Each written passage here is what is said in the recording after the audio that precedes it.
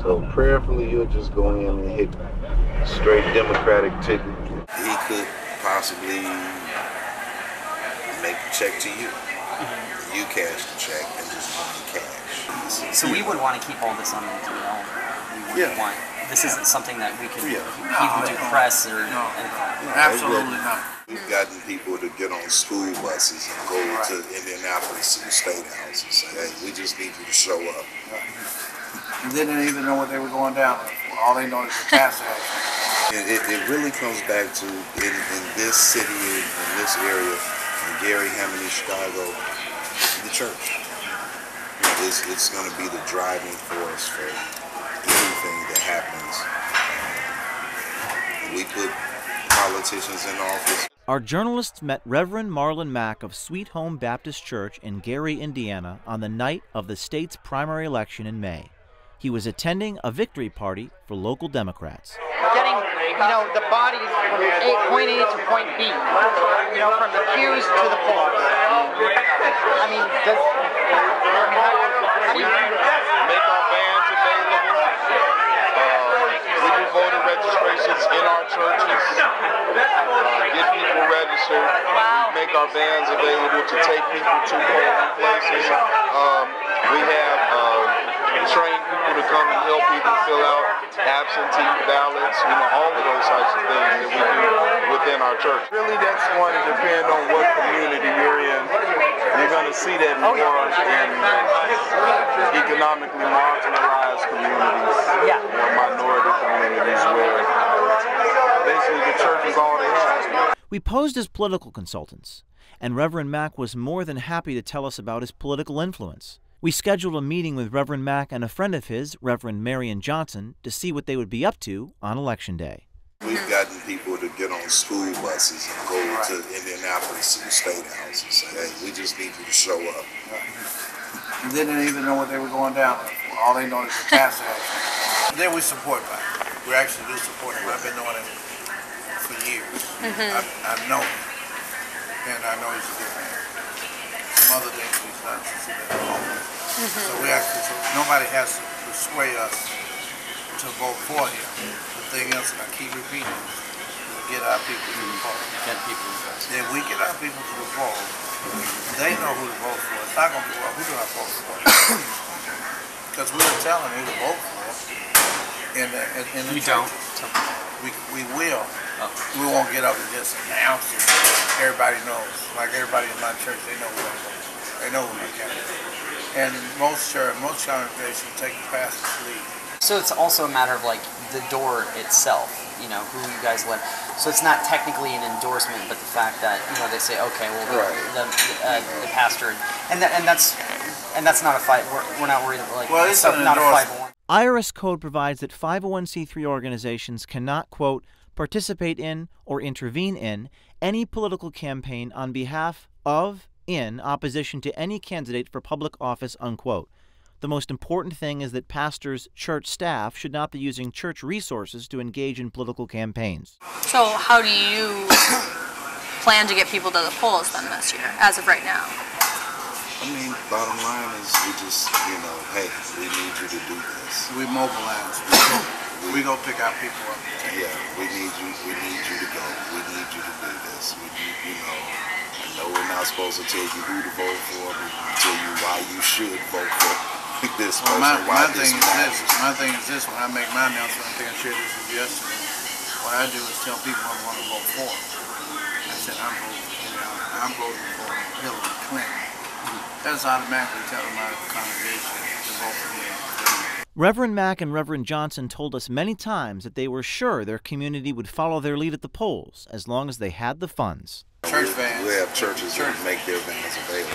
So you could use money for what? For gas or Right, and to pay drivers. The drivers, and then uh, if they wanted to stop and get a, You know, you may have to feed a few people. Oh, so the drivers aren't volunteers. They're- Yeah, or they, can't they be. are But you can volunteers, get but you more. want to, You can get more if you, if you have bus have a little okay. something for them. You Okay. pay them. Yeah. You can get more. Um, See, we're still working with an impoverished area. If I tell a guy I need you to drive all day, I say, well, Pastor, look, I can give you a couple hours, but I got to do something else because you know I'm trying to make it. exactly. But if I tell him I can have you drive all day and this is what I'm going to be give you for driving all day, and plus I'm going to give you something. Even that could possibly work because, I mean, ju- just in case, we, we do need to uh, get people to our churches uh, before they go to the polls, load up on them. We may have something inside the church where we can say, now listen, when you go to the polls, Like a this rally. is this is what's at stake, and this is what we need to do. We need to make sure that you know this person has our best interests at heart. This person supports this, and that doesn't help us. And you know, just have donuts and coffee, and I mean, even if it's just that. Piece of check, yeah. Yeah, you know, and just you know, and, It's and, like a and get them out. a Yeah. campaign rally. Before you go out, it's really like a full-fledged campaign rally. And each in- individual churches. so people, I mean, they might, yeah, they like they're they're hungry. They might, you know, they can't spend a day. They they need to go out and get resources and food for themselves. So But if if you you, have all this stuff for them, they're not going anywhere. They're going to do exactly what you directed them to do. They were hoping that our journalists would connect them with a donor to fund their Get Out the Vote efforts, and there was a very specific way they wanted the donation to be made. It would be done confidential through the pastor. So, help me understand just from the um, how, how it would have transaction. I mean, it there he could possibly make a check to you. You cash the check and just give me cash. Or he could make the check to a particular church. And I mean, it works out because it's a charitable donation to him because he just, it looks like he just gave a donation to a church. Yeah, if he just writes it to a church, then it's just a donation to the church. But I like Because the then you might cash get there might be like a you know say oh how did you you got a check how did you spend the money and make Yeah, sure well, we that have to make sure it paper went to the church. Right. That Okay. would be a paper trail. Okay. The simplest way would be, so you don't have to worry about any of that. He would make the check to you guys. You guys would cash it and give it to us as a charitable donation to the church. Okay. and that could be anonymous. Right, anonymous. A It's charitable donation will, will never get you in any trouble either, and it won't get us in any trouble. But say some Republican decides he wants to find out, and then we got these, we got these check, this check trail. Yeah, he writes a check to the church. Okay, why is he writing a check to a church in Gary, Indiana? You know, as opposed to just giving, writing a check to you guys who he has a professional relationship with, which could just simply be consulting fees. So we would want to keep all this on the DL. We would Yeah. want. This isn't something that we could Yeah. even do No, press or. No, anything. absolutely not. And what was wrong with the donations being made public? See, because then what you open us up with, let me tell you what happens if we did that. Then some Republicans come around, we would have to do the same thing, because we would be seen as being biased toward the Democratic Party.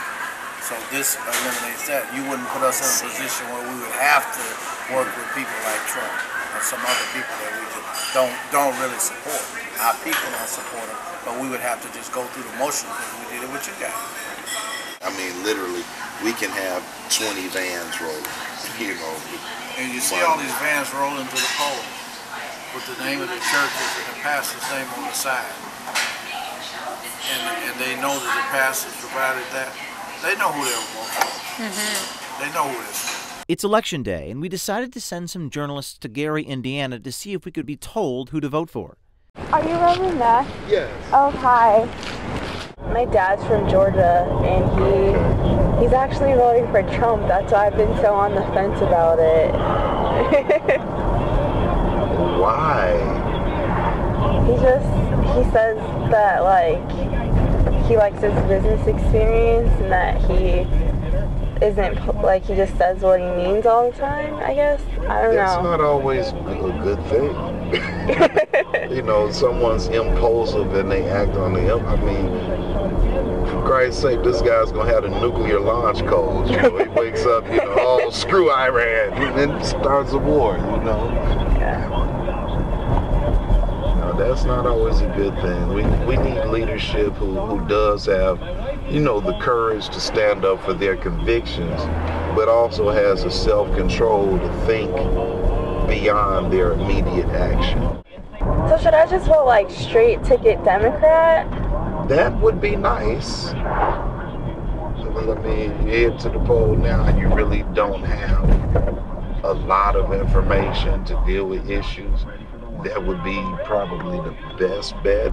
So prayerfully, you'll just go in and hit straight Democratic ticket. I guess you wouldn't want anyone making a mistake and voting for the person of their own choice.